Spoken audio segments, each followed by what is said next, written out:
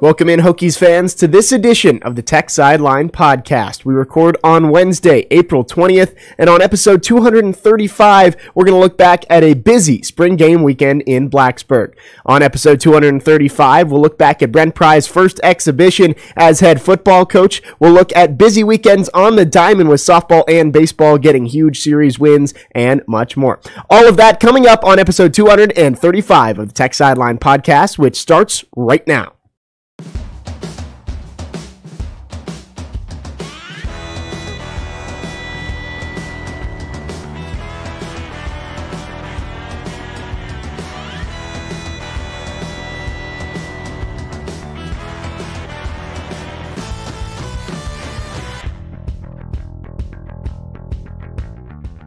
We welcome you in to episode 235 of the Tech Sideline podcast. However, you are listening, whether that's archived on Amazon Music, Apple Podcasts, Google Podcasts, SoundCloud, or Stitcher, or if you're watching on YouTube, be sure to like, comment, subscribe, and turn notifications on so you know when the Tech Sideline podcast goes live every single week. And if you are in our live stream, be sure to leave a comment or question for Will, David, and Chris. We'll get to those at the end of the show. As always, the Tech Sideline podcast is brought to you by the Southeast Regional Training Center. You can help bring Olympic hopeful athletes to one of the best and fastest growing wrestling programs in the country. Visit to learn more and donate today. After a couple of special editions last week, we finally have the usual crew back on set. Uh, David Cunningham is across the way, our managing editor. He will be on set today. Chris Coleman to my right, lead analyst and columnist for Tech Sideline. Once again, our founder and general manager, Will Stewart, in the fourth chair with his VIP pass on. our, our VIP in the fourth chair today, Malcolm Stewart, best podcast producer in the land behind the scenes, and I'm your host, Jake Lyman. Before we get into everything, guys, it was, it was a fun, busy Easter spring game weekend. What were you guys up to this weekend? Uh, well, first the weather was great. Weather was fantastic. Yeah, and then it was not so great. not a couple days after that. Oh my Um, gosh! Yeah, it snowed two days in a row in Blacksburg. It was insane. in mid-April. Yeah, yeah. but uh, yeah, fun weekend. Uh, went to the the jam on Friday night. Spring Jam, yeah. Yep. Sons of Saturday hosted it. I think great event. I know Will Will was going to ask us to talk about it, but I, I know we had a lot of fun. Guys could go catch some baseball and softball too over the weekend. Mhm. They both had. We'll talk about it in a second, but they both played really well over the weekend. Spring football. I don't Yeah. know how much we we learned, but Yeah, I had a lot Um, of friends in town that I hadn't seen in a while. Uh, all day tailgate on Saturday. Did absolutely nothing on Sunday. Yeah. as a result of Friday and Saturday. so But hey, yeah, so fun weekend. it was So good weekend. Chris's cooler Saturday was a was a tote. Yeah, yeah. I looked around and realized I didn't have a cooler because, like, I have I don't have my own like personal tailgating spot. I always tailgate hop, so I always get like sometimes I get one of the rolling coolers that I can roll from lot to lot. Um, but last year for the Notre Dame game, that my rolling cooler broke, and I haven't replaced it. So I, I realized Saturday morning that I didn't have a cooler, so I had to improvise, and it worked. So you had my you had my uh, the 300 350 dollar Yeti next to Chris's redneck cooler, which is just. A, which worked just as well as your I'm Yeti. sure it did. I don't know about that, but it did. I'm sure The beers in, were cold. in the Yeah, that- context of that's that all that day. matters. That's all that matters. is all the that beers were cold. matters. That's all that matters. Well, spring game on Saturday. Let's dive into it.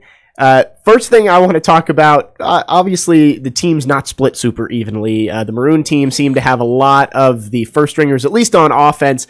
What do you guys think of that dynamic? Do you think it would be better to have more evenly matched teams or get to see what maybe the first string is going to look like next year? Well, you know, Pry said before the game that he thought the teams were evenly split.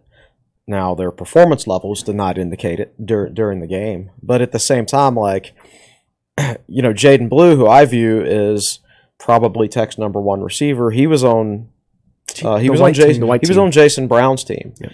and the chance he got, which would have gone for a big gain down the sideline, he was wide open. He dropped you know, and, and he hadn't been dropping that throughout the course of the spring. So I didn't think uh, Brown's offensive line performed well, um, and obviously Pry mentioned that after the game. I don't know. It's it's one of those things where on paper maybe you look at it before the game and you, and you say, yeah, okay, so this team has a little bit better receivers, but they're also going up against you know the starting safeties and Chamarri Conner and Yeah. and the starting nickel and Brion Murray, even though he had to play a different position Yeah. for, for the spring game. Um, but the my main takeaway from the spring game, as always, is you can't take much out of the spring game. I mean, you can identify some physical attributes Like Grant Wells obviously has the arm, Kaleb Smith's speed. uh, Yes. which Some- I something was we hadn't not- seen not- not- before. Not, expecting, but uh, for the most part, though, it just validated the things we already knew. I think, and it was more about the overall day and experience than the actual performance. Yeah, I- and I think the way they broke the teams down. So the Maroon team had the starting center and Johnny Jordan, and then the starting tackles, Mhm. and the white team had the starting guards. So they had uh, Jesse Hansen and Caden Moore. So you know it's three starters to two starters, and you know, but I, I mean, I think the teams were fairly even. It just you know when when you don't have as good of his offensive line, it kind of hurts a little bit. And, and to be fair, you know the white defense had Chamarri Conner, Brion Murray. It had some talent. You know, has a lot of some starters on the back end. You know, but like Brion Murray got beat twice. You know, on those deep balls to Kaleb Smith, Chamarri Conner got his ankles broken by Jalen Jones. You know, like you know, I I think they were fairly even teams. Maroon just kind of outperformed, and the Maroon defense was was that that front, um, like Wilfried Pene, especially him and, Yeah. and Josh Fuga. You know, they're not the starter, the starting tackles, but that they really, Fuga probably will be this year. yeah. But I mean, potentially him. I mean, it's kind of him, Kendricks, Pollard. You know, but um, you know, but that mix up, up front for the Maroon defense kind of um, overpowered the white offensive line. But I thought overall, you know, not a whole lot you can take away, kind of like what Chris said. But you know, Grant Wells showed out, and um, you know, I, I think it was kind of interesting late in the game to kind of see who was getting reps because, again, as I'm sure we'll talk about, Tech has to get below the scholarship limit, and there's Yeah. some guys that are you're gonna have to go other places. So I'm sitting there writing my, my scholarship article yes, uh, yesterday, I guess, and uh, it was yesterday when the Yes. transfer portal Yes. season ba- Yeah, yeah, uh, officially began, I guess. Um, so I, I just finished the running backs and the tight ends, and Jordan Brunson entered the portal, and I literally just finished typing. Jordan Brunson didn't get a single carry in the spring game, so he mm-hmm. might be a name to keep an eye on for the transfer portal. And then I got to the tight end section, and I said Jared Gibble was falling behind true freshman Harrison St. Germain, maybe even walk on Ty Eller so maybe the writing's on the wall there. And I saved the article and was about to go to the gym, and then those guys entered the transfer portal, and I was like, "Oh God, I gotta go ahead." Oh, I just wanted to jump in and give props to Jordan Brunson for saying uh, that he was glad to be a part of things here in Blacksburg. Instead not of a part, a part. so he gets bonus points for that. absolutely. yeah. Well, I'm sorry, I'm that guy. I believe Brunson. He's already found a new home, right? Miami He of committed Ohio. Ohio. Ohio. So Action. that means he had been talking to them for a while. Yeah, Yeah. Uh, well, you mentioned Grant Wells. Let's talk about him a little bit. Obviously, still some work to do over the summer and the fall, but it felt like he was he's going to be the pretty clear cut quarterback one. It, it was at halftime, I believe. The maroon team had 10 first downs and the white team had zero. Uh, he had almost 200 passing yards. It, it seems like he's the guy for, for the Hokies. I mean, that's what I expected. Yeah. He's, he's the more accomplished quarterback. Um, and I know Jason Brown started four games for South Carolina, and they beat Florida during that stretch. But Florida stunk this past year, you know. And the bottom line is, you know, he was for most of his career at South Carolina, he was third string, right? Um, I think he is a quality, quality backup for Virginia Tech. Uh, he's got a good arm. Uh, he grew up a Tech fan. He wants to be here, but I, I- think there's no question that Grant Wells is the best option as a starting quarterback. Uh, I just think he does a little things more fluidly. He uh, seems to get through his progressions better. Um, I want to say his deep ball is smoother than, than Brown's. I think their arm strength per se is kind of similar, but I, I think uh, well Wells' arm is a little more dynamic, if that makes any sense. Um, he's also a better athlete. Um, he's not going to sit there and, and you know rush for Braxton Burmeister 100, 100 yard games at times and things like that. He had a, he is a competent runner. Like Yeah. he's very similar to Ryan Willis. yes. Very very similar physically. Scramble and, and can pick up pick up chunks of yards. yeah, absolutely. And and arm strength is very similar. And Ryan Willis ended this past season with the With the the Chicago, Chicago, Bears. Bears. which is insane when you consider he ended his Virginia Tech career as the third string quarterback. and so I think that says a little bit more about Virginia Tech, though, than that does Ryan Willis. But uh, yeah, I mean, and the other thing about Wells is, you know, he's a two year starter at Marshall, but one of those years didn't count towards his eligibility He's got because of COVID. three He's got three years left if he wants them, if he, if he wants three. You know, so worst case scenario, he's the starter this year and next year. Best case scenario is he's the starter for 22, 23, and 24. And so it just makes sense that I'm tired of quarterback turnover at Virginia Tech, a new starter every year. You know, so let's just, you know, if Jason Brown comes out in August and is better, then by all means start him. But but if it's anything close to, you know, even, then you got to go with Wells and and just assume that he's going to. I think he's a good player now, a talented player now, but assume that he's going to get better as he continues to pick up the offense and continues to establish a rapport with the wide receivers. Uh, it, it just seems like the right thing to do. I think it's the right short term decision and the right long term decision for Tech. Yeah, I was going to say um, the last Tech quarterback to start two full seasons in a row was Logan Thomas. So that that goes to show you, you know. Yeah, well, it would have been Brewer, And it would have been. Brewer, but and it would have been hurt. Jackson, but he got hurt. Yeah. but yeah. So so, but that just goes to show you that there's been qu- quarterback turnover for the past decade. Mm-hmm. Right. Um, but yeah, and, I, and another thing to point out, Jason Brown, you know, and, and he took a lot of the heat. I say heat post game.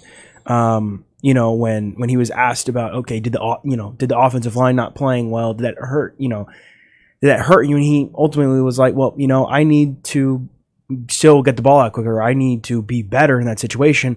And while he didn't have the best showing, you have to remember that you know the, the all the coaching staff they got to see him, you know, through the entire spring. It's not like this was the first time they saw him. You know, Yeah, they yeah, right. they've seen what him up against Wells the entire spring, and I think to Chris's point, Wells is just a better option. Um, but but kind of what I wrote about after the game on Saturday was, and they they both quarterbacks and, and Brent Pryall took some questions about it about after the game. Tech has two competent quarterbacks. I think that's that's a good thing. Mm-hmm. You know, if for some reason, and, and Jason Brown mentioned this, like South Carolina when he was there last year, used three different quarterbacks Right. because two of them got hurt, and he was the third string guy, and he came in. Who knows if Grant Wells, with, with the the luck that Virginia Tech has had with, with quarterbacks and getting injured in the past decade, there's a good chance that Grant, you know, Grant Wells, if he's the starter, is going to, you know, Jason Brown's going to have to come in at some, point. point. And it's good to have a backup opposed to, you know, last season where it was the guy who's currently at San Diego State and then the McNeese State starting quarterback. and your super slot receiver for this year, Connor Blumrick. Yeah. right. That was your quarterback. Yeah, so it's it's a it's I think it's a lot better, and and the good news is, um, and one of the things I think that hasn't really been talked about a lot, but it, it's Brad Glenn. He's a quarterback only coach. He's not an offensive coordinator, and he he actually told the media like. I love being just a quarterbacks coach because I can sit down and dedicate all my time to working with these quarterbacks instead of having to deal with play calling and all that stuff. So you got to think, you know, yes, they're they're all learning a new system, but um, you know, Grant Wells is essentially if he ends up becoming the starter, which it, would not surprise me if he does. Um, you know, I know they're taking the competition into the fall, but he essentially gets to sit down and work with Brad Glenn all summer, you know, all fall camp, preparing for that season. And it's not like, you know, Glenn's attention is going to be elsewhere. I think who knows how good Wells is going to be this upcoming year, but I think you know he's got three years left and he has a bright future ahead of him. And it, assuming he is the guy, you know, Tech will be in really good hands with Brown behind him. Yeah, I think so too. I agree with you 100%. Uh, you're talking about a guy who already has two years of starting experience, could eventually play for three more years. I think he's a level headed guy. He's already engaged. Yeah. Guys who get engaged, you know, they're going to think about things a little bit differently. Certain things are going to be more important to them and things like that. So uh, I, uh, I'm on board with that. Um, like I said, if Jason Brown comes out in August and beats him out, then by all means start Jason Yeah. Brown. I just don't think there's a very high likelihood of that happening. Well, let's keep looking at quarterbacks here. Later on in the game, in the second half, we got to see Tahj Bullock a little bit and the first sighting of Devin Farrell. It seems like both those guys developing well running the ball. They both ran the ball really They well. didn't throw the dynamic. ball much. They didn't Yeah. throw the ball very much. Four attempts for Bullock and one for Farrell, right? Yeah. Um, yeah, they did- they didn't let him uh, throw the ball much, and and you know maybe that's for for the best uh, as they get their feet wet and things like that. And they, they also at that point, you know, the top receivers were out of the game Yes. too, and so you're they were there were a lot of walk on receivers. I mean, to be fair, the, the touchdown for the white team was Ben Locklear throwing to Connor Dusenberry, Right. a walk on to a walk on. Against walk on defenders, Wearing probably, number you know? 97. right? yes. So When's the last time a ninety something scored a touchdown for Virginia Tech? Yeah, That's a good question. But but yeah, I mean, I think I don't know. I mean, I, I know Chris feels the same way. Like, there's no reason not to redshirt Devin Farrell this year. Yeah. Um, listen, I, I know he's battling out. Boom, boom, boom. put it up. Um, there, I know, I know that they're they're going to have a competition for the third quarterback spot, but the thing to me is if you get down to your third quarterback, you're you're you're not going to have a good result anyway. so just do what's best for the actual player in that perspective, and and that's and that's redshirt. And, and worst case, if Tech had had to get down to the third quarterback, why would you not use Connor Blumrick? Uh, you know uh, that, that that you could. That's an. That, I mean, that's an that's an The- option. Might depend on the situation. I mean, to me, I th- actually think Blumrick's going to be one of Tech's top targets. Oh, no, this I- year. I agree. So, I was so just saying, I think it- by moving him to qu- back to quarterback, it's not it's not like he can throw it to himself, right? So I actually think it makes it might make their offense worse if they moved him back because it would take away one of their top targets. Um, so I would roll with Bullock in that case, but at any rate, it doesn't matter because I don't think you can win consistently with your third quarterback anyway. So I, I, th- I think it's setting up well for Tech. I mean, to have two guys like Wells and Brown at the top of the depth chart, and you can develop those guys behind them. And here's what I, you've got, and I've pointed this out several times, but I want to emphasize it today that uh, Tahj Bullock is behind from a de- developmental standpoint because in high school he was behind another FBS quarterback for his first two years. The guy went to Navy, so Tahj couldn't start till his junior year of high school. Sometimes that's how it works in that New Jersey Catholic League, which is a really talented league. And then his junior year, he had a good year. And then going from his junior year to his senior year, his whole offseason of development got wrecked by COVID. Absolutely wrecked. You know, they were not, not allowed to do anything. No off-season practice work, no drill. And when they finally got around to playing their senior season, I think it only lasted six games. So this is a guy who like only started 17 games in high school because he was behind an F, another FBS quarterback and then COVID. So he did not get a full high school career full of development before he enrolled at Virginia Tech. So, you know, he needs, you know, to be cooked some more. So he need as much time as as they can Right. dev- develop. Farrell- get him in the weight room, but but also just develop Just- those skills without yeah. having to worry about him going out Going into a and game, and, right. and I think having that having two capable guys. It, it can relieve some stress where he doesn't feel like he has to develop really Right. really fast. Right, and Farrell Farrell is was in Georgia, and obviously the COVID rules were a little bit different in Georgia than I'm sure they were in New Jersey. He got a full senior season in. I doubt his. I'm sure his off season was impacted to a certain extent between like his, you know, junior senior year all that and all that. But uh, uh, he was also one year later. You know, so it was less of an impact. So his development was not quite as impacted as Bullock's was. Uh, you know, because of the COVID thing. So it's a little bit unfortunate f- for Bullock, uh, but like he is behind because of all that, and that's bad luck for him. But uh, I, I, yes, he looks the part, and he's got the arm strength and, and, and everything like that. But he's a guy because of the, those circumstances. You're talking. It's not like he was a five star recruit or a four star recruit. He was a regular three star recruit, a good prospect to be sure, but a regular three star recruit who did not get adequate development time at the high school level because of COVID. So you have to be patient with him. And I know telling people to be patient about football players these days isn't going to work, but I feel the need to say it anyway. Well, let's talk targets here. Wide receiver was one of the question marks heading into this season. A lot of guys leaving, but Kaleb Smith really stood out. He had two really big plays. Uh, I was up in the booth uh, with Bill Roth for the broadcast helping out, and I was looking up Kaleb Smith's stats, and he he only had two touchdowns all last year. He had two touchdowns in the first quarter of the spring game. Yeah, when I think he's each year Kaleb Smith has been here. Remember, this is a guy originally committed to Wake Forest mm-hmm. on scholarship and then accepted a preferred walk-on spot at mm-hmm. Virginia Tech and had to earn a scholarship here. And he was good enough, but it just took some time. But he's kind of always overshadowed, I feel like, by bigger receivers. Last year, Tre Turner, Tayvion Robinson, Kaleb Smith was the third guy. You can go back back to when Damon Hazelton was here. This year, he's the you know before Jadan Blue committed, he was the guy, The most and, and experienced guy. and now Jadan Blue's here, and, and it's kind of those two.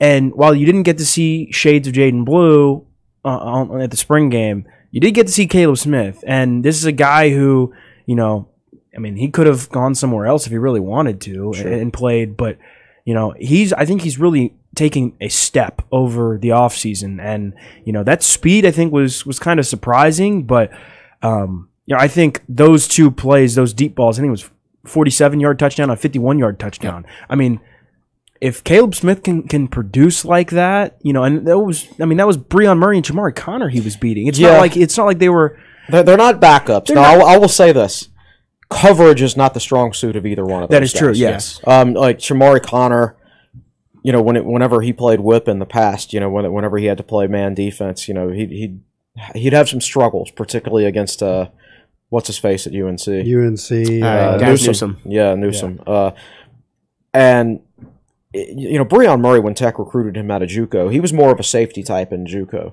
and he was kind of pressed into service as a cornerback. He's been playing that nickel role all spring, but simply purely because of numbers. He and DJ Harvey, the other nickel, Yeah. were actual cornerbacks and uh, during the spring game. So he was out there in a role that he hadn't really practiced very much this spring, and I don't think he's really suited for anyway. Um, but at the same time, like I, uh, I do worry about cornerback depth because he might have to play it, and I just don't think, you know, downfield coverage on receivers is his strong suit. Yeah. Um, But I feel like just in general, like it, seeing Kaleb Smith dust some defenders, Right. catch some long Right. balls, you get to see what Grant Wells can do. But you also get, you know, feel a little bit better. I think a lot of people were kind of just like, okay, like Kaleb Smith's a guy who's been in the program but hasn't scored a lot. What we don't know what we have, and then he goes out and scores two touchdowns in the first quarter. And it's like, all right, like we might, you know, be onto something. I mean, he does. He like I don't know what his forty time is. Schools don't release stuff like that any these days. But like he does, he doesn't look fast because of his build, right? And uh, so, so you know maybe maybe it was pure speed, maybe it was technique, maybe it was poor plays by by the defensive backs. But at the same time, I said before spring practice started that I'm not worried about Tech's quarterbacks because I thought Grant Wells could make any throw on the field. It was just a matter of whether when he made the throw, whether the wide receiver would actually be there or not and it was good to see a wide receiver there when he made a couple of uh, throws that guys on Sundays can make. And Kaleb Smith, it, you look back at his time here, it felt like he was the guy who would get you seven on third and six. Yes. That that was who he was. If he can develop into a deep threat, maybe another layer to the offense. Uh, and we also saw some emergence of Da'Wain Lofton and Jalen Jones. Both had a few catches. Very happy to see Jalen uh, Jones make that move in the open field, even if it was against Chamarri Conner. Uh, again, like, uh, oh, oh, oh, like I, I do have some. concerns. well, are we going to talk about defense later? Oh, of Or- course. Okay, okay. Um, yeah, I, I, I will say that I feel better about the receivers right now than I did before the spring. yeah. Um, part of that is like moving Blumrick. I, he was listed as a tight end on the spring game roster. He's I- playing in the slot. I, I listed him as a tight end yesterday, but just whatever. But I, I think he'll line up in the slot more times than not. Uh, Tech's offense this year, I think, will be kind of inverted what you, from what you would normally think of an offense. Normally, you think the six five guy is going to be the outside receiver, and Da'Wain Lofton, the five eleven guy, is going to be the slot re- receiver, right? And I think it's going to be inverted this year for Tech uh, because I think uh, a guy like uh, Connor is a guy who I don't think a traditional linebacker can match him in athleticism and coverage, but he's going to be so much bigger than any nickelback. Imagine So- trying to put him up against. Imagine him running at DJ Harvey or Brion Murray, Right. and then Dax Hollifield right, at right. the same time. And then if you want to run the ball, blocking them Yeah. t- too, you know, as far as uh, defensive backs goes. So Brent Pry is looking at, at that from the eyes of, of a defensive coordinator. If there's a guy like uh, like Connor Blumrick that they're going to line up, that the other team is going to line up in the slot all the time, and it's third and eight, okay, do you go with your nickel package and put a smaller guy on him that he can out jump and out physical, or do you go with a linebacker who can outrun, who Connor can outrun, Yeah. right? So I that's why I think he's going to be primarily a slot for Virginia Tech this year. And as strange as it sounds, you're going to see Lofton on on the outside a lot. Yeah, but I think I think just in general, I didn't get to see much out of Jadan Blue. But I I think the wide receiver room as a whole, throw Connor Blumrick into the mix. I think I think it's just going to be a question of you know can they find that consistency of the younger guys that that Jalen Jones, the da- Dallin Wright, Mhm. uh, the Da'Wain Lofton, that kind of group of guys, the young redshirt freshmen or sophomores, I guess, that group. the guys that need to develop a little bit more, who's going to stand out of that group? Yeah, and you've got somebody, and I don't know if this is Kaleb Smith based on the spring game or if it's somebody else. Like you're gonna have to be able to generate some big plays down the field. Otherwise, all that arm talent of Grant Wells is somewhat wasted. Yeah. Well, we've talked a little bit about the defense, but let's dive into the other side of the ball now. We got to see Brent Pry's scheme a little bit, how guys are adjusting to some new positions. What stood out to you on the other side of the ball on Saturday? Um, I, I thought I think Tech. I feel better about defensive tackle because of the development of Wilfried Pene. Agreed. Um, I saw a picture of him next to uh, Norell Pollard, uh, either this morning or yesterday, and Pollard's listed at 281, um, and Pene's listed at 253. That's an old weight for Pene. That dude is way bigger than 253 now. He's gotten a lot bigger. And I think he- he's an athletic guy. He's a guy who practices kickboxing in his spare time. I mean, you look at his Instagram videos, and he's getting his foot up there all the way to the top of the bag, you know, in his kickboxing stuff. So he's a very flexible guy, and he's a big guy, and he's an athletic guy. And I think he's a great fit for defensive tackle in the Pry scheme. I think he would have been a great fit for defensive tackle in the Bud Foster scheme. I don't think he was a great fit in the Justin Hamilton scheme. So I, I think him and Pollard are, are really going to benefit for, from the scheme change. Uh, I don't know that, that Fuga is uh, quite as good a fit, but I think he's overall the most, ta- maybe the overall most physically talented in Yeah. the group. And I know he works extremely hard. Um, He, so, he was the defensive most Im- improved, improved play, right? player right, from the right. spring. So uh, that that's a good sign. And Kendricks missed the whole spring coming off an injury, but you know if he can come back and, and improve a little bit, he's probably a little bit better for for for this scheme too. Then uh, you know I think you've got four defensive tackles there that, that that will play pretty well, especially since you know several of them are better fits for this scheme than the old. Yeah, I think overall defensive. If you just talking about the defensive line, I, I think it's going to be something that we're going to mention a lot. But like the first, the, the two deep is is fairly strong up up front, defensive end and tackle. Behind them, you know, young guys need to develop a little more. But but like TyJuan Garbutt's pretty good. Cole Nelson didn't play, but I think but, he's a good player. but Cole Yeah. Nelson's going to be pretty good. Jalen Griffin, he's experienced. You bring in Payne in from Nebraska, and you're bringing in Payne from Nebraska. So And- uh, there's probably not like a dominant not dominant, all ACC player Yeah. there, but you should you should like, be able to get you should be able to get some Right. from some pressure from, Right. from that front. Um, and I think just at, at linebacker in general, I don't think anything really jumped out No. because both sides didn't really run the ball at all. Yeah, like yeah. I, I, I don't know what the total rush yards for either side was, but it wasn't much at all. White was in the negative for a majority of the game. Yeah. That includes sacks, but yeah, A lot of it was quarterback runs. Yeah, so I don't know. I don't think anything else really like jumped out to me about the linebackers or, or the DBs, but I think it was interesting kind of just to see where guys were were playing and and kind of what backups got to see playing time because I think a guy Right. like Jaden Keller is, you know, pushing a little bit at wi- at will whether he'll play is uh, you know to be determined I think he but will because Brent Pry has a history of rotating linebackers. but he's he's going to be really good.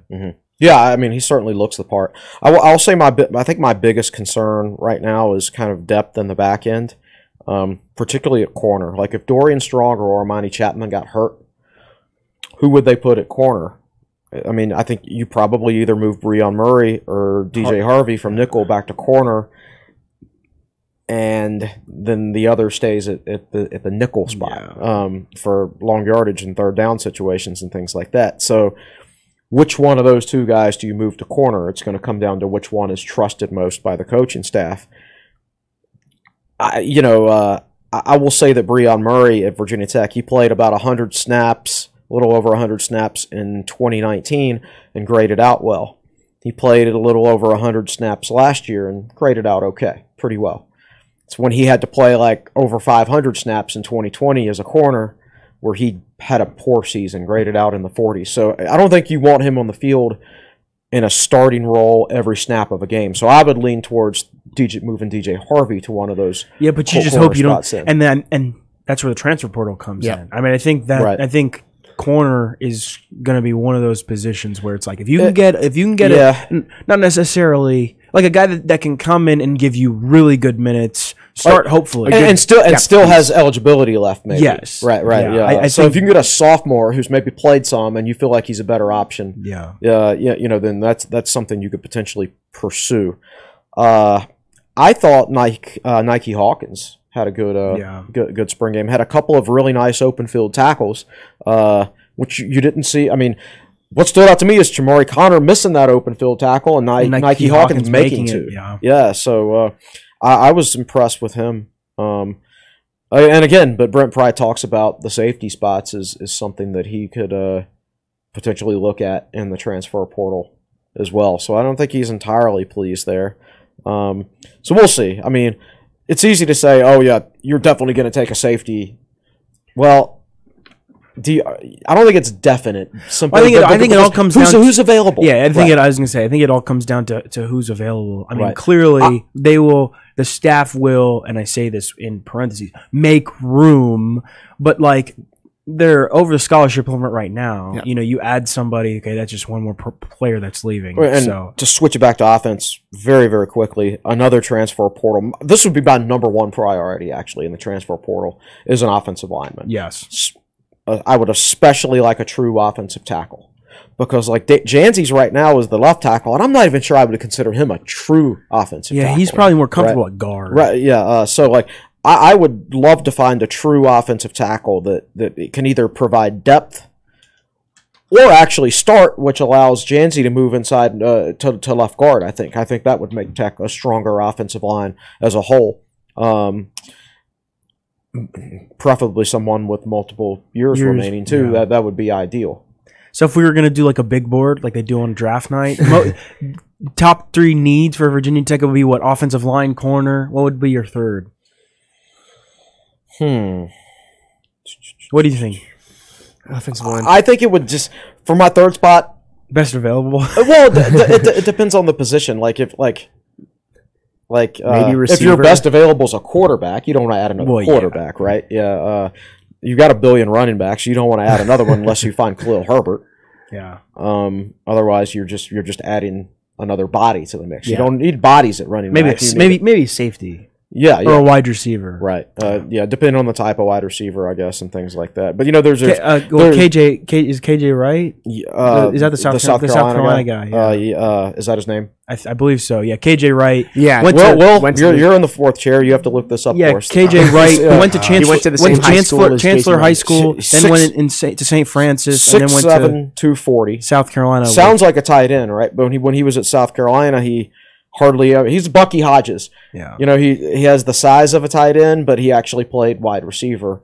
Now he's caught like only caught seven or eight passes last year, I think, but he did play over two hundred snaps. That's kind of like And- Stephen Gosnell a little bit too. Yeah. uh, So I I- I think uh, he's a guy that could potentially help, but like he would not come in and like start. So are you guys talking about E.J. Jenkins? Yes. yes. Yeah, KJ. oh, I said KJ. KJ, EJ, Okay. Wright, Yeah. Jenkins. You Yeah. know, KJ KJ Wright was a longtime linebacker for the Seahawks, I believe. Oh, Yeah. okay. Well, okay.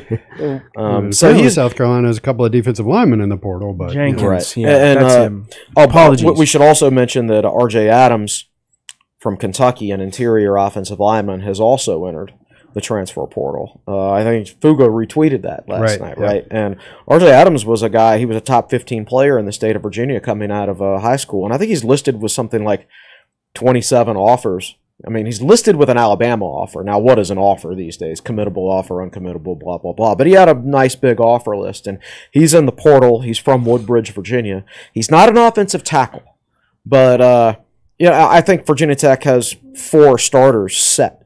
Um, if he's a guy that could come in and compete, he's got four years of It's- it- eligibility. It's like the whole right side of the offensive line is set, right. and it's just kind of figuring out. I I think Could where- RJ Adams come in and potentially compete uh, for the left guard spot? yes, Um, and finding where where Silas Dzansi fits the right, best. right. Going to be interesting over the next couple of weeks. Could see some players in. Surely going to see some players going Oh, out. we saw two yesterday. two yesterday, and Chris has a good article up on Tech Sideline talking You're about the roster more. squeezed Yeah. down to 85. We'll see how that works out. Um, and David, bringing up draft night, I'm, I'm going to think of something fun to do for the draft next week. Uh, Is that next week? Draft is eight days from today, the NFL draft. So uh, we'll, we'll talk about that next week. I'll, I'll come up with something fun to make you guys draft stuff. Um, before we move on, uh, let's talk a little special teams. Some some mistakes in there, and uh, when Oscar Shadley moves on after he's gone, I believe. Yeah, correct? he is gone. yeah. after his 12th year at Virginia Tech. Uh, we already saw some issues. Snap over the head of the punter. Yeah. Uh, Which long snapper was that? I don't know, but I, sure I because there's three on the roster, so I'm not sure if it was uh, the Enzo Anthony, the UVA transfer, the former UVA transfer, or one of the other two walk-ons. But, Yeah.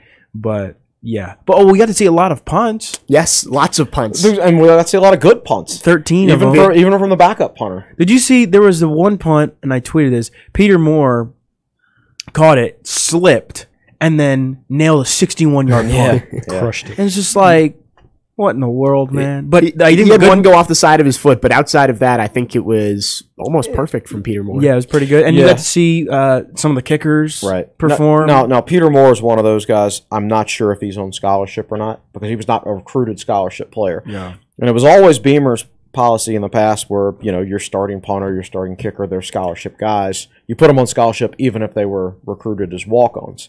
Um, you got to be very, very careful because, like, we've seen, like, Virginia Tech lose Jordan Stout to Penn State because Penn State put him on scholarship. And at that point, Tech already had a punter and a kicker on scholarship. And do you want to use a third scholarship on on a kicker? Um, uh, is in in the end, you know, it worked out fine for Tech because Tech had plenty of good kickers and things like that. But like, if Peter Moore is not on scholarship, he needs to be Yeah. because anybody who needs a punter is going to hit that dude up this summer and say, "Hey, are you on scholarship?" And when he says no, they're going to offer him a full scholarship. And that's really hard to turn down if you're not on scholarship. Yeah, he's already. the only. He's the. He was a third team All ACC performer Right, last year. right. He's the only returner to Virginia Tech that like earned All ACC honors. He's the only one, Right. and he's so the he has to be on scholarship. Yeah, If he's not right now, he needs to be starting this summer. yeah. Well, let's talk kickers a little bit. Uh, some competition there as well. John Love, I believe, was the freshman. He, had- he- and he's a recruited scholarship player. yes. from what we understand. Yeah. And then William Ross is that the other uh, One the- one the hit transfer? a 38 yarder, one hit a 39 yarder. Where did Ross transfer? Was he the South Carolina transfer? Um, Uh, he went uh, Coastal Carolina. Coastal That's what Carolina. it was. Oh no, I think he went to South Carolina, then Coastal Carolina, Okay. and now Virginia Tech. Yeah. He's a well-traveled kicker. What's his uh, What's his first name? Uh, William? William? Ross. Yeah. All right. Uh, I mean, I think you know, kind of weird because Virginia Tech's had this thing both at punter and kicker the past couple of years. Where, I mean, before Peter Moore came in, it was Oscar Bradburn, it was Brian Johnson and John Parker Romo for multiple years, and, Yeah. and you had that stability. And now it's just like, who's your kicker gonna be? yeah, but you know, but I will say that uh, at one point that was Brian Johnson, right? Who's That your kicker yeah. going to be? After Joey Slye. right, yeah. and, right, Yeah. and then it turned out Brian Johnson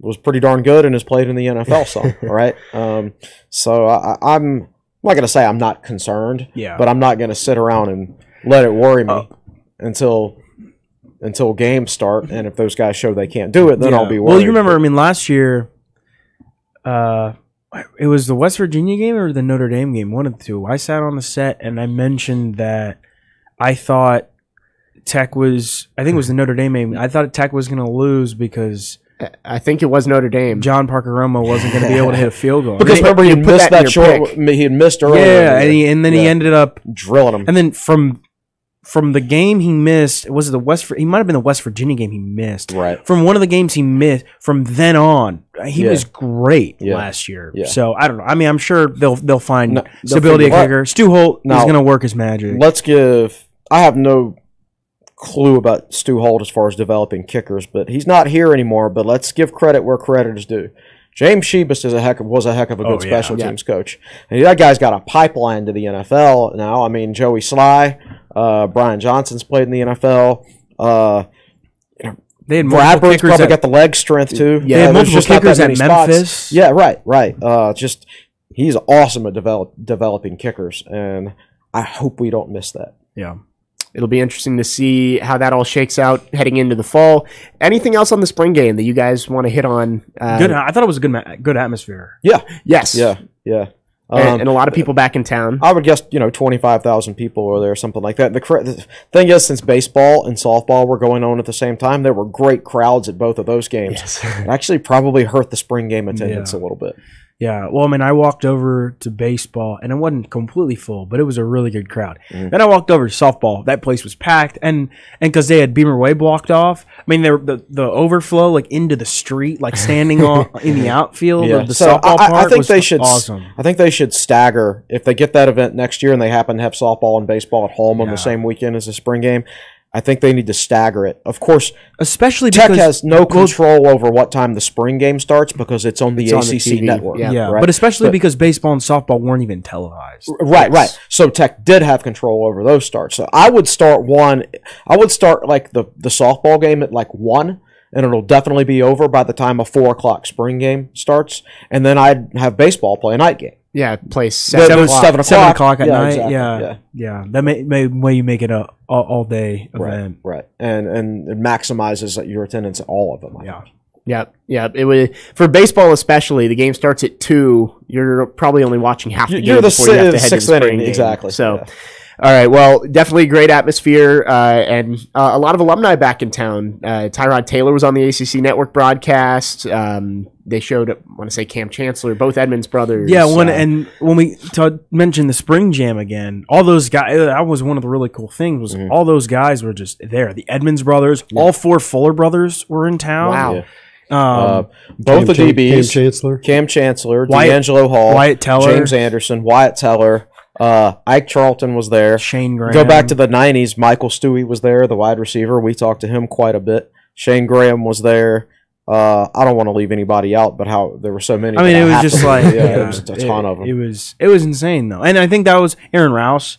Yes, Um, Aaron Rouse I, I think there were Chris Ellis. Yeah, I mean, and they did. I think they did. Uh, they did like a professional development night one of the nights before, Mhm. and had some of those guys. I know Aaron Rouse, you know, Virginia Beach councilman, came and, and spoke. Um, and I think Brent Pry and the staff just kind of get it. And I know that that event was put on by the Sons of Saturday, but the fact that like like Brad Wurthman and Evan Massengill from the Hokie Club were there. Yeah, You know, uh, like- well, I, I talked to the Sons of Saturday guys there. They they they invited us to it and, Yeah. and everything like that. And we had a good time, and we appreciate that. And you know, one of the Sons of Saturday guys told me that the athletic department did a great job Of helping, helping, them yeah. put put the event on, like the event planners and people behind the scenes in the athletic department whose names will never. Like your average tech fan doesn't even know they exist. They, they they did a really good job organizing all of that uh, as far as like getting the former players there and things like that. So it seems to be a uh, s- everybody was pulling in the It's same an direction. emphasis. It's Right, an emphasis. right, And I mean, they had the they had the all day golf event. I think Yes. before that, so there was a lot of a lot of cool stuff with former players. I don't think. Uh, uh, Sean Glennon was at the thing, but I saw the picture with Sean Glennon Sean and Glennon, Tyrod Tyrod. next to each Oh other. well, they were go- they were golf partners. Yeah, Yeah. so um, you know, just cool things like that. I think you know that's the most alum that alumni football alumni that have ever been in town and, and together at the same time in a really long time. So, and I think Billy Ray Mitchell told me that uh, you know he he sat down and chatted with some of the guys like before they put this together, and one of the big things was you know, a lot of the time when when athletics asks you to come back, you know, together, it's hey, come back, let's get a picture, and then that's it. Right. And like they wanted to create an event where everybody could come sit down and chat and hang out and catch up, Mm. and that's what they did. And I thought it went really really well. And the fans, you know, people could pay what like ten bucks and Yeah. and walk in and you know buy drinks for player, you know, former players and chat them up. And I mean, I saw plenty of people, you know, getting like football signed and stuff. There were some so- recruits there too. Like I saw Rashad Purnell. There. Wow. Yeah. So it was really cool. Well, I know that was a question Will wanted to ask, and I'm glad we got to that. Will, any Right. anything else in the fourth chair before we hit our break? Uh, there's quite a bit. Let's see if I can remember everything that went through my brain while you guys were talking. so, uh, first of all, let's take a page from Nick Brown's book. Our I'm graphics. holding it up there. Stat time. Such with advanced Scott graphics on the TSL podcast. Uh, so Scott, this I thought this was so random we needed to include it. Plus, a math question will follow.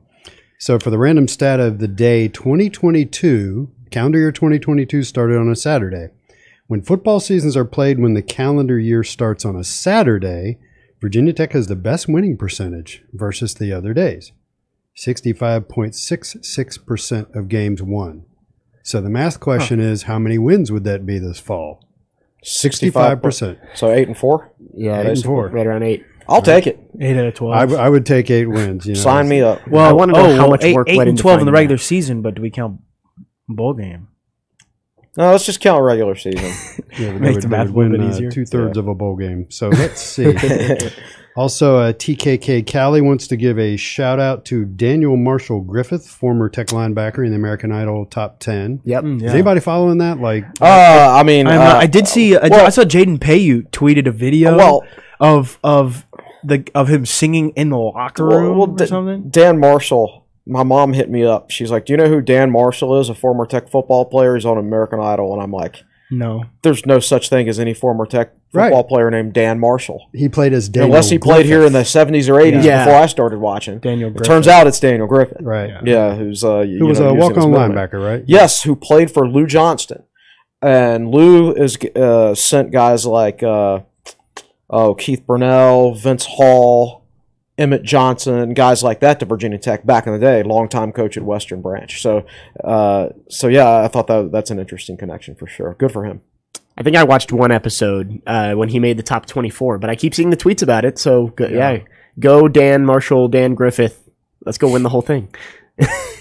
All right, so let's see. Um, I thought this was an interesting twist on what we were just talking about with the spring jam and, and so many uh, football alumni being in town.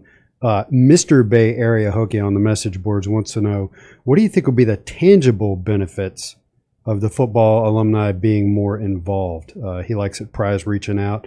But what does that mean to the program in terms of, of W's and L's and tangible benefits? Well, one of the things I will say is, uh, do you guys see the the news about um, Tyrod Taylor donating to the uh, I forget what it's called. The market or uh, something like that. Yeah, uh, The the thing Mihol did. yeah, the new Hokie Hokie Market or something. Um, I, I think you'll see like a couple Tim weeks ago. Tim Settle made a I was gonna say Bud Foster tweeted that Right. Tim Settle donated to the Hokie Club a couple weeks ago. So, uh, you know, you'll if you see- if you feel more connected, you'll f- you'll, you'll be more willing more to likely give to back. give money. Yeah, Right. And I think I think also Brent Pry mentioned that a group of former players, the Edmunds brothers, the Fuller brothers, Wyatt Teller, some of those guys, they came and spoke to like the group of recruits that were like visiting. And, and and when you have like all these NFL guys like coming and talking like with your recruits, like that sells. I'm telling you, man, if I'm an offensive line recruit and Wyatt Teller came and talked to me, I'd be like, I want to go wherever that guy went. I, I mean, I mean, there was all those former players at the event. They're all big guys, and then there's Wyatt Teller that Yeah. makes all of them look tiny. And he makes their paychecks look tiny, I'm sure, too. Yeah. He got Unless paid. Duane Brown's in town. yeah, but I feel like that is something you can't having those guys there in person pitching your program for you. Mm-hmm. Yeah. That's something that you can't really duplicate if that makes sense. Like you can't really, you know, it- it's not the same when you get like an Edmunds brother on Zoom trying to talk to a recruit. Like when you got those guys, you and you have that whole group of guys there in person, and everybody's going up there and, and speaking to the group and saying, you know, this is why I came to Virginia Tech. You know, you won't regret it. Blah blah blah. You know, like a recruit. Like if I was a recruit and I've got all these NFL guys that are talking to me, I'm like. Dude, like this makes me. Like, you guys want here to play? Like, okay, I can understand why. Right. You know, Uh, I think it sells a little bit more. It it has the potential to in certain areas. Yeah. Now I also know. Remember those three running backs from like Northern Virginia, Fredericksburg, who went to Penn State like three years in a row, one, two, three. Yep. You know, one of them grew up. His his. I remember his original two four seven recruiting pro- pro- profile picture was him in a Virginia Tech jersey. His favorite player was Michael Vick. Blah blah blah. Well, he comes in town for a visit one time. I think to like a spring game or something like that, and. You know, Tech, Tech had Michael Vick meet him in person and talk that to him one Ford? on one. I think it was Devin. I Devin. think Ford. it was Devin. Yeah, it was Devin Ford. Um, yeah, because it was him wearing the Tech jersey. I know that for a fact. Um, so Tech had his favorite player come in and recruit him personally, and he still went to Penn State. Right. Mhm. So it it it can only, help. it only helps so much. Right, right, right. I think the biggest thing is is you know some of these NFL guys like I mean Tim Settle gives back from a financial standpoint. Yeah. and uh, I think some of them obviously Kevin Jones and Brendan Hill are involved in one of the NIL groups. They're two former players, you know. So I, I and that's actually maybe where former players would be more interested in helping than anything else. Maybe is with NIL because they didn't make any money, uh, you know, Yeah. when, when they were here. Uh, so, uh, and and and I'm not sure like. I don't think your average tech fan, and, and, and I bet if you ask most players, even saw a lot of your former players, like, how does your scholarship get paid for? And they just say, oh, well, it's free. We go to school for free, right? No. I mean, it takes a check from the athletic department to the university. I mean, somebody pays for it. It's just not, they just don't have to, right? Um, I don't think that they, they, a lot of them fully grasp that part of it, especially like current players. Um, but I think they all grasp the NIL thing. So I think that's some a place where former players could help with more than anything else. Something tangible, uh, and I, I think we could But, see that for like, sure. like like if Duane Brown came up to me and I was working for Virginia Tech and he said I'd love to make a fifty thousand dollar donation, I'd tell him, well, here's Commonwealth NIL. Go talk to them. that's that's that's where I would want that money going personally. Well, it was really cool to see all. I mean, the list goes on and on of people. I we didn't mention Chuck Clark was in town. I think too. Yep. Uh, they showed him on the sidelines. Uh, I think Tyrod said on the broadcast he hadn't been back to Blacksburg in six years or something like that. No, So, that uh, sounds bad. so So let, let me add one more thing to, to all that. We're we're talking about the former players and specifically money that perhaps if they're more involved that they'll donate. It also has an effect on the fans. The fans love Correct. that stuff. There, there's Yeah. a level of excitement around the program that is uh, certainly bigger than it's been in a while. And that permeated the whole weekend with 3,500 fans at the baseball game uh, Friday night. I think that was the third largest crowd ever, Yep. and wasn't it the largest of the ACC? Largest in regular season history. Yeah. Um, Mhm. And then softball, of course, being just jammed to the gills. And the effect that had on the Tech Athletic Department was they had so much going on that they had difficulty staffing. I was tailgating events. with a woman who had to leave the tailgate and go take tickets at, at baseball game, do Wow. ticketing, and she talked about how understaffed they are and they cannot get they just can't get people to work. And it's same it's it, that's the way it is at a lot of businesses around Blacksburg right Yeah. And, and so I've, I've had off the record conversations with Brad Wurthman. We got to get him on the podcast. He's got some fascinating stories to tell about that stuff. But but back to the topic, it has an effect on the fans too, and they donate. So there is not a tangible line. Getting back to the original question, there isn't a tangible line between players coming into town and wins and losses, but you can certainly see that it leads to increased excitement, increased donations, and these are all positive things. in a really cool weekend for Tech football. Obviously, Brent Pry's first spring game got a lot of people in town, uh, and they'll surely be back in town for his games in the fall. I think that wraps up our football discussion. We're going to take our break. When we come back, we're going to talk about the Diamond Sports. Softball takes two of three from UVA. Baseball takes two of three from number two Miami. We'll get to that when we come back on the other side of our break on episode 235 of the Tech Sideline podcast. Stay with us. We'll be right back.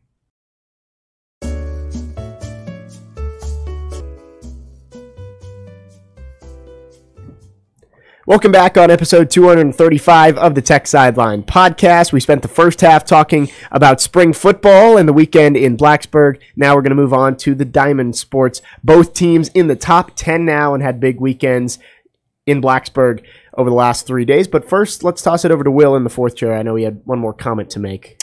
Yeah, Eric Fisher, who's always in the live chat when, when it starts, uh, said, Do you think Tech will keep having spring game weekend be a football alumni thing going forward? And, and you know, the obvious answer is sure. But my ears perked up when you guys talked about the athletic department helping out the Sons of Saturday guys with the spring jam. And uh, uh, when when we went to the spring jam, I, I was I thought to myself, man, this is really well done. Uh, as far as I know, that's the first time Sons of Saturday has done anything like that, and they're bringing it off like like they've got a lot of experience at it. So, so number one, that tells me part of the reason it was so good, not to slight those guys because because they're great guys, but they also got some help from the athletic department, and that tells you absolutely that's that's kind of part of the strategy going forward, or, or part of what they want to do on the weekend. And the other thing I do want to do is give a shout out to Billy Ray Mitchell personally and this has nothing to do with anybody helping. I got there at about ten thirty Friday night, And when I came around the corner of the building, I was 15 people deep in the line, and Billy Ray inside saw me immediately and was yelling and pointing. And he came out, and yes, we had we had sponsored the stuff they were doing, so I had a VIP pass.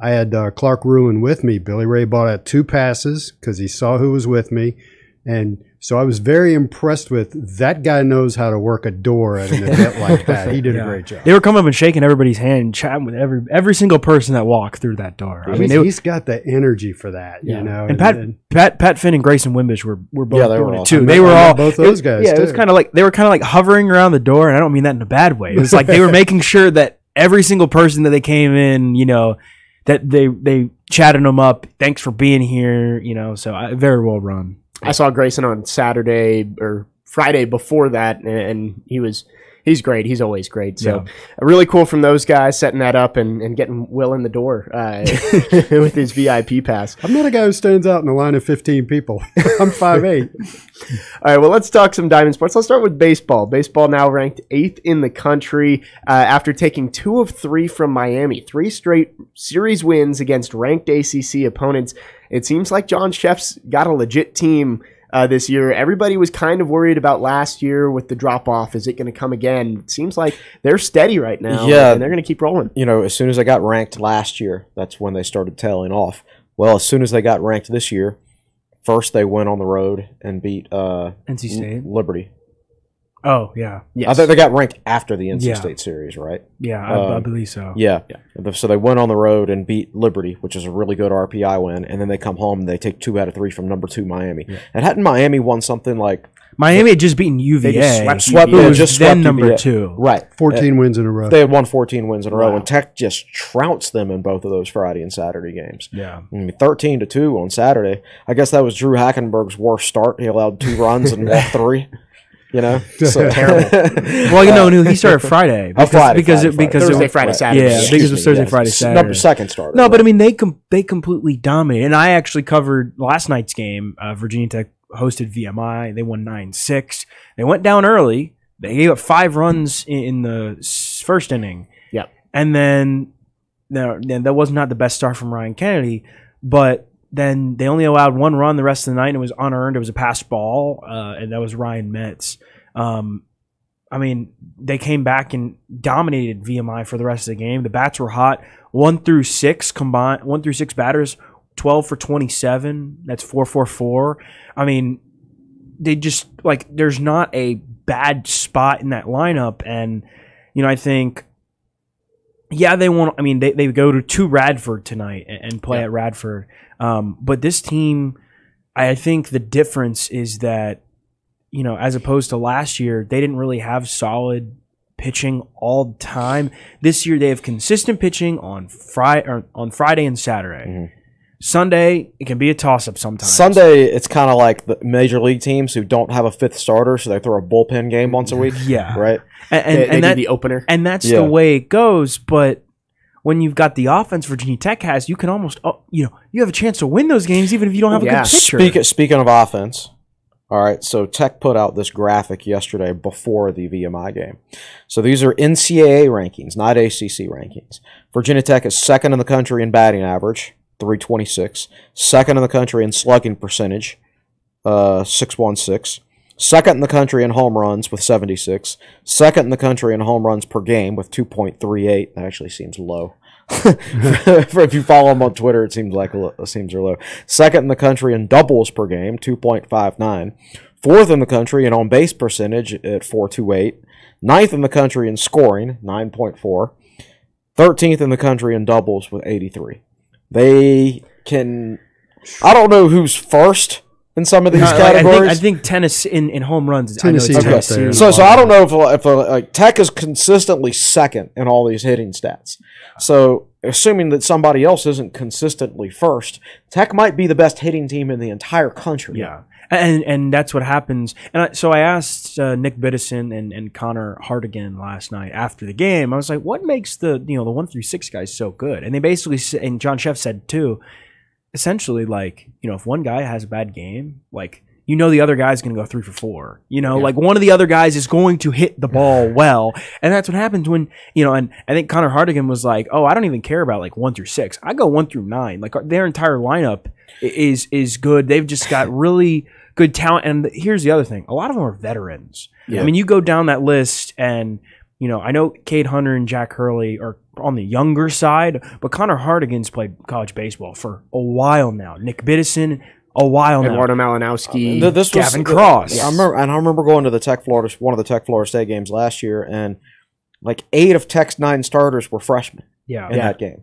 Uh, you know, Jack Hurley, Hurley was one of those guys, and he's in his second year now, and uh, and is you know absolutely tearing the cover off the ball like like everybody else. Um, so it's just it's a loaded lineup, man. Yeah. absolutely loaded. and Um, and when you combine that with good pitching, right, and, and you've seen different guys ha- go on tears throughout the year. Eduardo Malinowski early on in the season Yeah. hit a home run in every game basically, and then Jack Hurley had that insane stretch. Which Cade Hunter Well, had an Hunter- on base streak It's- that ended on, Sunday or Yeah. Saturday against Miami. And it's crazy what they're doing to teams' number one starters. It's like Friday night fireworks every Friday. I mean, you see uh, Miami's number one starter and NC State's number one starter UNC. and UNC's number Notre one Dame. starter. Notre- Notre. Dame's number one they're starter. All, all coming to all coming to the game against Virginia Tech with like a 2.0 ERA, and then at the end of the game, it's like 3.7. yeah, It's, and I, I, shelled. I think you got to give a shout out to the pitching too. I mean, Yeah, like yeah. like oh yeah, Griffin, Griffin Green, Green. and Drue Hackenberg. Been Drew really Hackenberg this is Christian Hackenberg's brother, yeah. former Penn State quarterback. Um, yeah, he's a freshman. Yeah, and true freshman. true freshman, and he has been dominant as the the Saturday starter.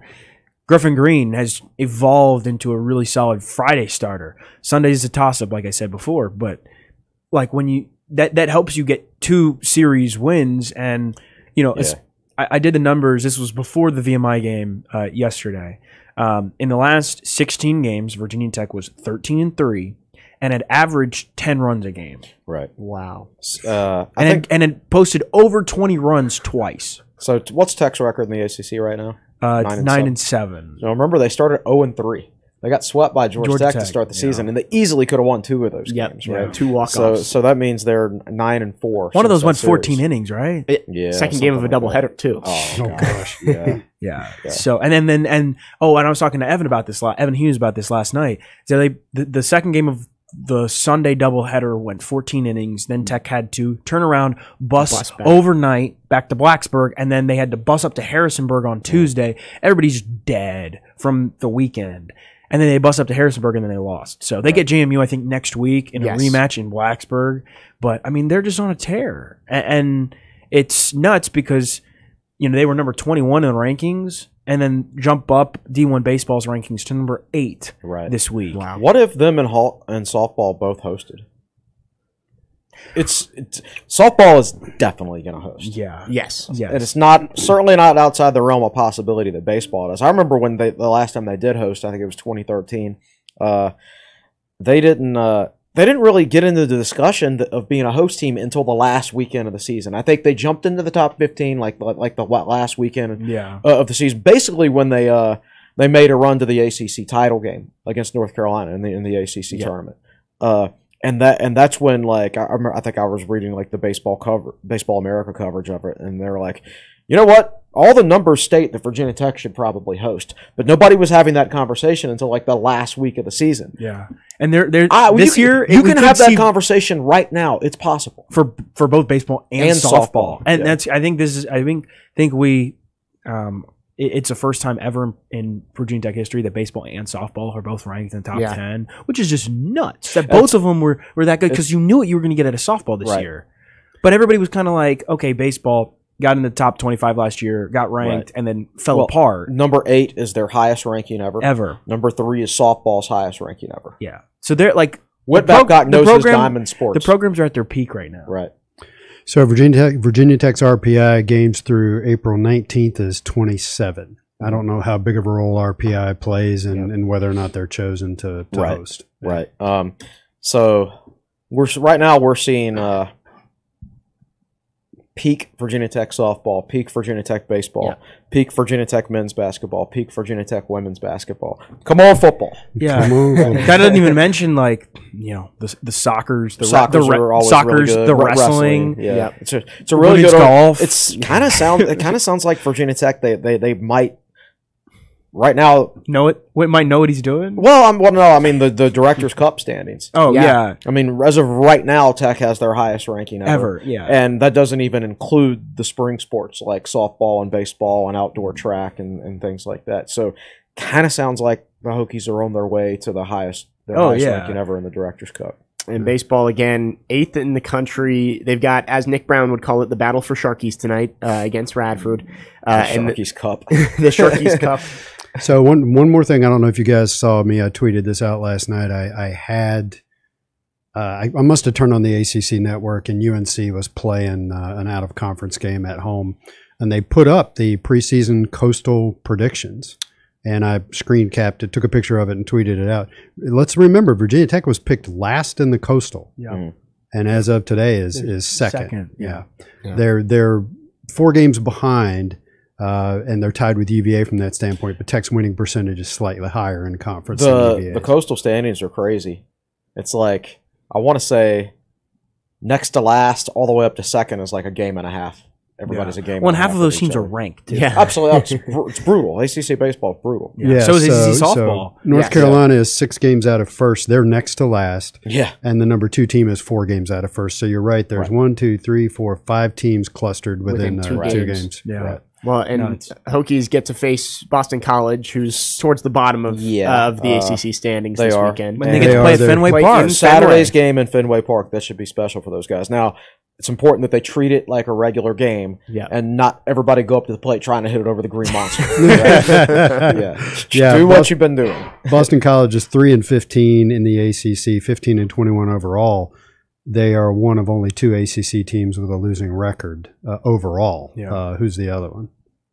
Pop quiz. Mm, Uh, no idea. Duke. Duke Yeah, is Duke was sixteen who I and was, twenty-one. I was over- thinking somebody Oh, has to be team at the, the team at the bottom of the Coastal. coastal. Yes. Yeah.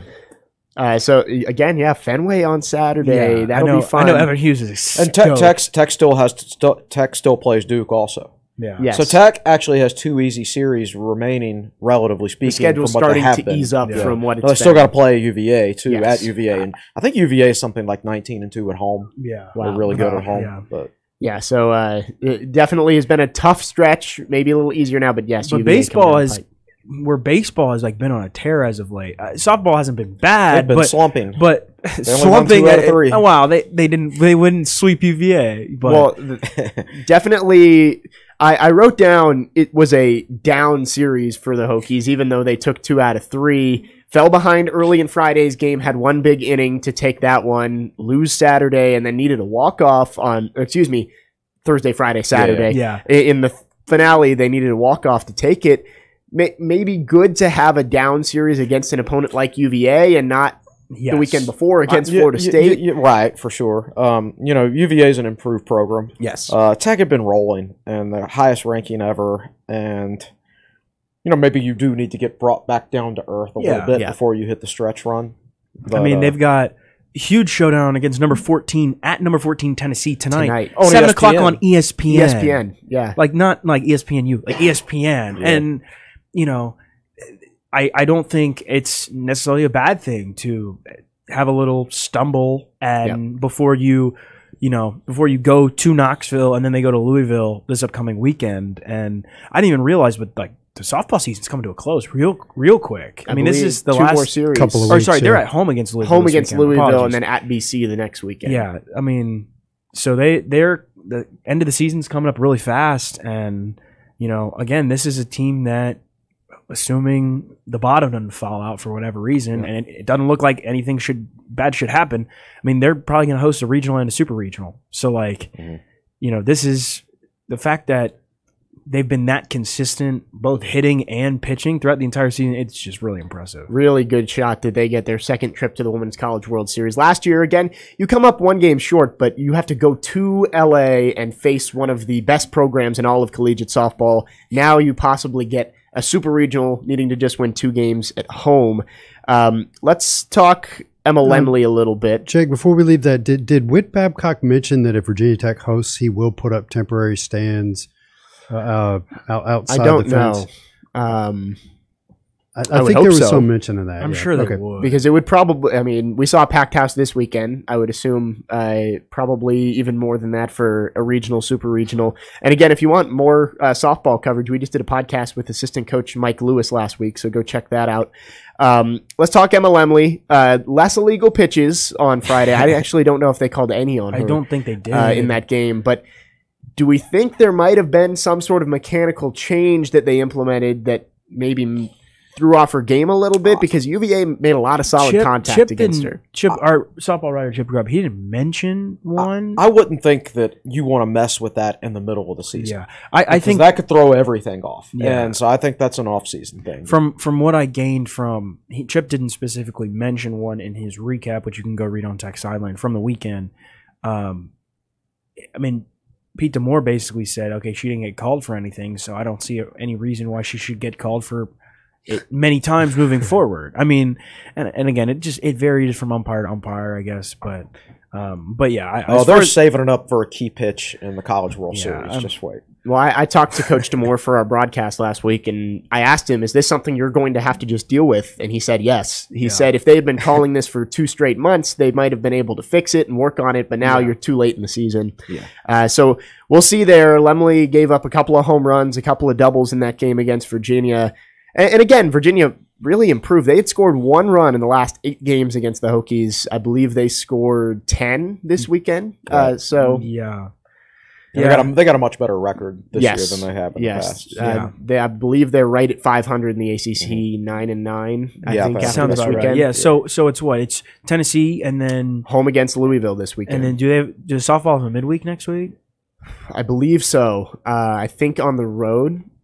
Uh, no, actually, no, they don't. They get the full week off between Louisville and Boston College, and, And- then I think they wrap up the season with two home midweeks that first week of May. Makes sense. So I mean, and the schedule's not. I mean, I think this is the biggest game left in the regular season. Yes, probably against, Only ranked team, I against Tennessee. So, not I don't want to say they're cruising, but but the schedule's not necessarily going to get any more difficult. Where you already played a gauntlet, like going to Florida State and stuff, playing Florida State and UCF and back to back weekends. So, I don't know. I think, assuming they just keep level pace, you know, they keep going on the pace they're going. I mean, they're going to be a top five team. You know, they're sitting at number three right now. Number three in the RPI, Right. not necessarily just Yeah. the rankings in the RPI. You know, they're going to be a top five team come, you know, the regionals and super regionals. And, you know, hopefully we're sitting here in Three. beginning of June saying, wow, they're going to a College World Series. and, and you would think as long as there are no major slip ups, like you lose two of three to BC or Louisville, they're going to not move down in the rankings, Yeah. uh, especially with a win tonight if they can get one at Tennessee. yeah. Again, that's a Tennessee's a very good program, a top 15 team. Um, I was talking to Whitney Showalter, who was my analyst, and she said that that was a big rivalry back in her day when she played with the team. So uh, it should be fun to watch tonight. So Hokie Chip did uh, Chip Grubb did chime in. He said uh, last year with COVID, both softball and baseball submitted bids to host, Mhm. um, but the, and they submitted them early. Right. Uh, but then they both went down in performance. But so they his point is they are prepared to do it. They they've prepared to do it before. Mhm. Uh, he apparently Whit Babcock did mention he was going to put up temporary stands. And according to Chip, there was no real change in Emma's delivery, just a little more emphasis on dragging the foot. And I was there on uh, Friday night, and she dragged it so hard they had to come out and, and fill in the the ruts She that was she digging a was digging. And and that, that that game was that game was tough to watch. It ended up five to three, but it felt like ten to two Yeah. because Tech was not hitting UVA. UVA's pitcher apparently came in with a seven something ERA, and Tech struggled against her. And she and- was 0 2 with a 7 ERA heading into that game. I Um, once, when I was in Vegas a few years ago, I bet on a baseball game, and the Braves were in first place, and they were playing, I forget who. I think they were playing the Padres, who were in dead last that year, and the Braves were starting their ace, who had an ERA of under two, and the Padres were starting a guy who, in like ten starts, had an ERA of over seven. So, like most baseball lines are like one and a half runs, right? Yeah. So I'm like, oh god, the Braves are going to crush them. because it's in Atlanta. The Braves are way better, and we're throwing our ace, and they're throwing their worst pitcher. Right? The Braves won one to nothing. They could not hit that guy who is probably out of baseball now because he's so Right, bad. right. You know. It's a round ball and a round bat. That's you never right. know what's going to happen. Nope. Uh, well, definitely a lot of fun tonight. Both programs in action. Baseball at Radford, softball at Tennessee. That game on ESPN at 7. Baseball, yeah, I believe baseball's on ESPN Plus. ESPN Plus. So check those out. And then this weekend, softball at home against Louisville, baseball on the road at Boston College with one of those games in Fenway. So plenty coming up. Both teams on a roll right now. With that, let's check in with Will. Any more good questions before we get out of here? This one's kind of uh, off the beaten path. Uh, apparently, Josh Pastner, Georgia Tech uh, bas- basketball head coach, suggested playing full round robin in the ACC, which would be 28 conference games since there are 15 teams in the league. Yeah. Um, I, I can think of some not so. Are you are you? It would have hurt Virginia Tech's strength of schedule this past year since the ACC was. Although, Well, although there would have been no Having a chance no to beat- non-conference. having a chance to even- beat Duke at home. Yeah, Yes, you would yeah. have gotten Duke at home. Yeah, but but the thing is, like, how do you compare that to, to uh, when when when other leagues aren't doing that? How do you make the comparison?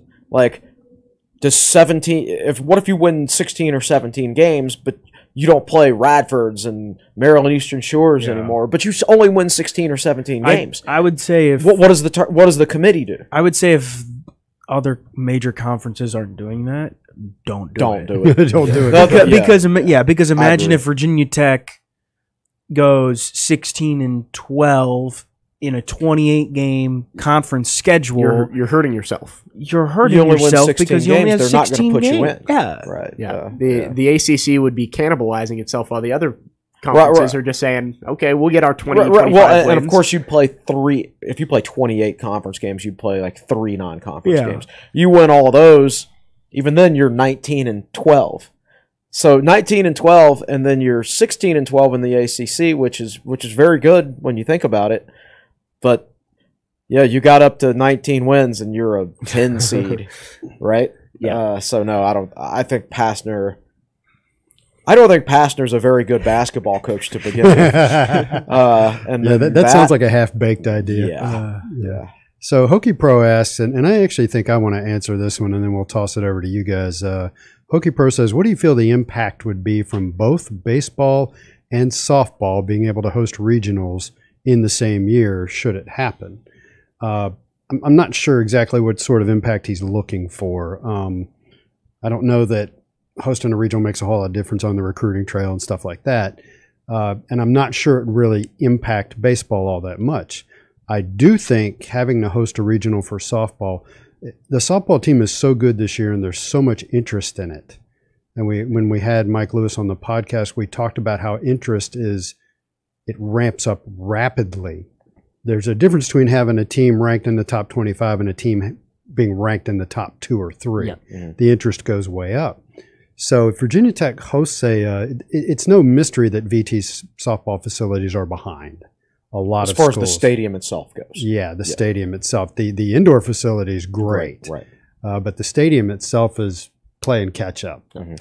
And so, if they were to host a regional, I just think that would bring a lot of uh, attention. a lot of attention and not good attention. Maybe to give it. a little push. Well, Yeah. it's when baseball had to host a regional in 2013, right. and they had to bring in a temporary press box. yeah, Right, and it, it was just kind of the whole. It was kind of embarrassing. yeah. So so then fans naturally start saying, "Oh, well, we need to expand the the softball stadium." Well, the difficulty with that is that all of Virginia Tech's facilities, fundraising, resources right now are being allocated to raising funds for Cassell Coliseum. Yes.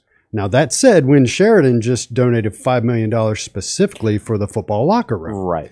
so You I- get the- some the big over- donors. the overall point is that if someone steps up, someone like Win Sheridan says, "I'll start it with five million bucks for Correct. softball." Right. Right. You're more likely to get big donor support to build a better softball stadium When or you're re- on those renovate the one stages, that they yeah. got. Right. Because it's not something that like it makes financial sense for Virginia Tech to take out a big loan to do. Yeah. right? And and just add to their monthly bottom line. Well, unless they put that. like, one or two luxury boxes up there, uh, Uh, there is a diehard softball crowd, and maybe The- some of them have money. right, and- right, right. But you know, the point here is yes, you're more likely to get outside funding for something like that if you host a regional and you get national attention and some wealthy people uh, say, okay, I want to keep that momentum going. Yeah. Right. It'll be interesting to see again both these teams set up to possibly host a regional softball, maybe a super regional. So it, it'll be fun to Well, watch. you remember the softball stadium did get expanded after Alan, Allison Tincher left because there was no way Tech was going to host. Angela Tincher, Angela, what did I call her? Allison. Allison. Ange- Angela Tincher. Her I'm unfamous getting- sister I'm get- Allison. I'm getting old. but remember, there was no way Tech's the softball stadium was so small back then and so out of date that there was no way Tech was going to ever host. yeah, So they had Uh, so upgrade so we sitting there thinking, okay, man, we got a pretty darn good softball program. So they expanded it then in hopes they, that they could host in the future.